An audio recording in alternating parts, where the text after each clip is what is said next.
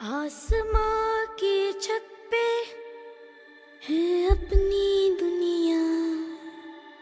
खिलखिलाती जिसमें है अपनी खुशियाँ।